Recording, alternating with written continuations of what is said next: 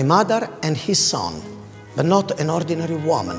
She's Eleonora di Toledo, the daughter of Don Pedro di Toledo, the Vice King of Naples, and above all the wife of Cosimo I Medici, Grand Duke of Tuscany. She's represented with a second son, Giovanni, second of 11 children she had. And don't be surprised by this big number, because every royal family should have at least four boys that become adults. The first son will be the next Grand Duke. The second son will be a cardinal, with several chances of being a pope. The third will lead the army, and the fourth will take care of the family business, banking.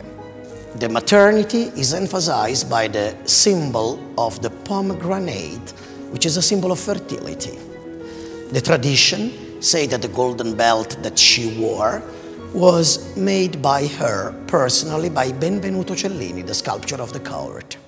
That is probably the dress that she wore at the moment of the wedding, and we found fragment of that dress in her funeral monument, which is into the Medici chapels in the Church of St. Lawrence.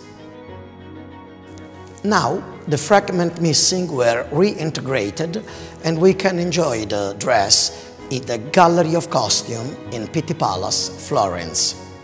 The portrait of Eleonora di Toledo with the son Giovanni by Agnolo Bronzino, 1545.